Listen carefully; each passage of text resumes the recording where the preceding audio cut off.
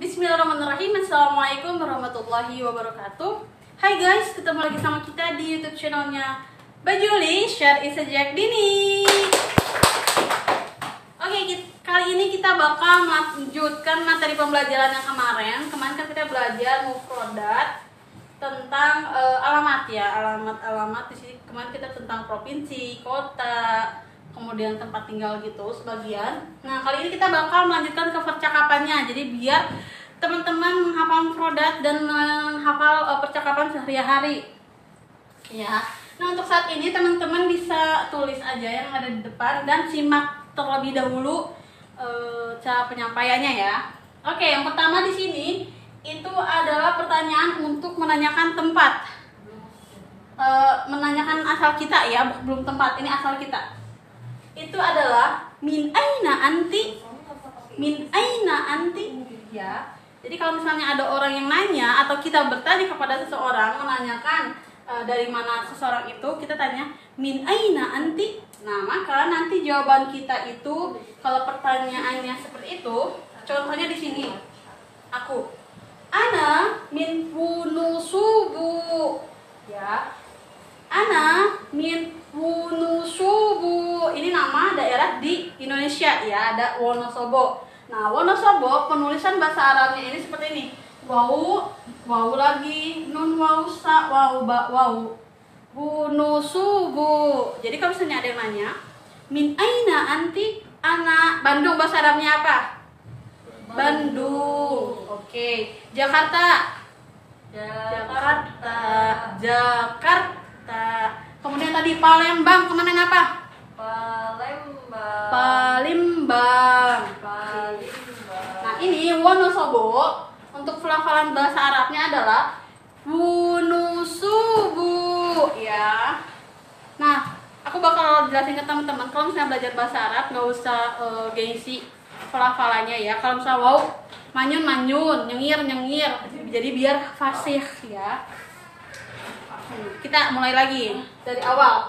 Min aina anti? Ana min unusubu. Nah, kemudian di sini kita melanjutkan percakapan selanjutnya. Ini masih yang si B ya. Wa min aina anti? Nah, jadi si B ini menanyakan kembali dari mana kamu?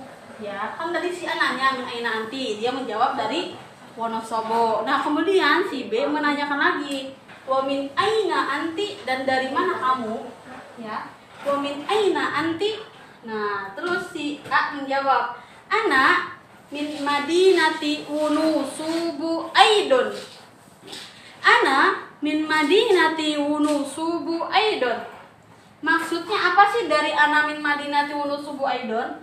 Nah, maksud dari ana min Madinati Wunusubu Aidon itu adalah dia itu dari eh, Madinah. Madinah apa? Bahasa eh, Indonesianya kok kota. Wonosobo tadi tadi apa? Wonosobo. Aidon itu artinya itu juga ya. Jadi misalnya eh, ditanya misalnya kayak tadi ini Wonosobo Aidon itu karena dia juga dari Wonosobo. Jadi ana min Madinati Wonosobo Aidon. Ya, jadi tanya misalnya min aina anti? Ana min Bandung. Terus wa min aina anti? Ana min Bandung Aidon. Atau misalnya kamu dari mana? Misalnya ini lebih ke eh, pekerjaan kelas mungkin ya. Pekerjaan kelas, apakah kamu sudah eh, mengerjakan tugas? Eh, hal eh, jadi itu deh kita ambil contoh lagi contoh lain yang simpel yang memang udah kita kerjain ya selama ini nampan tadi bahasa Arabnya apa dia fatun nah misalnya hal tadhab eh, hal apakah kamu sudah pernah pergi ke kebun eh, ke penginapan eh, hal tadhabi eh, kholas itu kayak lebih ke udah ya jadi misalnya Eh, aku udah pernah pergi ke penginapan juga. Daha betul illa eh, dia Fatin Aidon. Ya, itu ke juga ya. Pokoknya tapi eh, juga itu tidak bisa dikatakan kayak satu kalimat aja Aidon Aidon nggak bisa gitu. Jadi ini bisa lengkap ya. Kemudian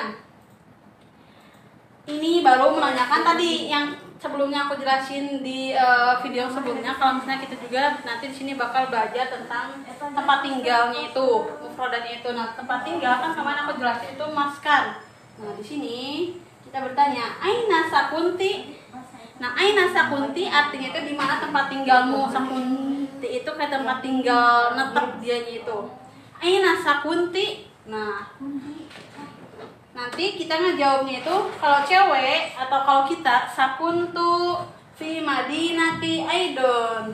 Nah atau sakuntu fi madinati atau tempat tinggalku di kota. Atau misalnya juga ini memang eh, dia tinggal di perkotaannya itu jadi sakuntu fi madinati.